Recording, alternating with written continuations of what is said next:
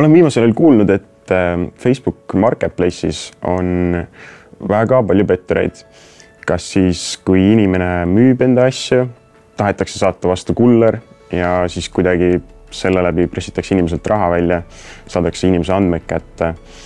Äh, või siis ka müüjad müüvad, müüvad võltsasju, näiteks äh, kontserdipiletid, mis tegelikult ei ole päris. ja kui inimene hakkab neid ostma, siis annab oma raha, aga piletit ei saa. kui palju sina sellest kuulnud oled? jah, paraku on väga levinud sellised skeemid, kus siis eraisik müüb eraisikule ja väga keeruline on tegelikult tuvastada, kas sinuga räägib päris inimene, päris ostja, päris müüja või siis robot ja see skeem näeb välja nii, et kui näiteks inimene postitab mingisuguse müügikuulutuse, siis väidetav ostja võtab temaga ühendust tunneb huvi selle toote vastu, esitab väga konkreetsed küsimused, kas on toode vana, kas on toode uus, palju kasutatud on.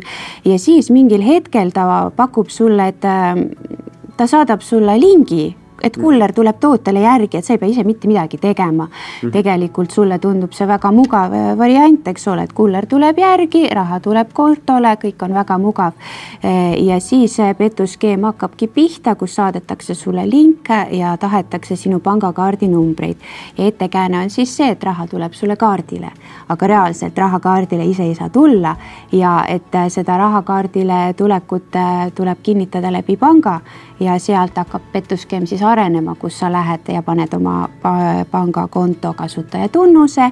Enda arvates sa kinnitad seda tehingut kullerile, kuid reaalselt äh, pettur saab ligi sinu kontole ja kahjuks äh, oledki rahast ilma mm. -hmm. Pole ostjat, pole raha ja teine oluline on see, et ka piletid jah, et äh, väga tihti müüvad eraisikud eraisikutele pileteid ettekäändel siis, et äh, ma ei saa minna, ma ostsin seltskonnale suure hulga pileteid, aga noh, et keegi jäi haigeks, et tahame lahti saada.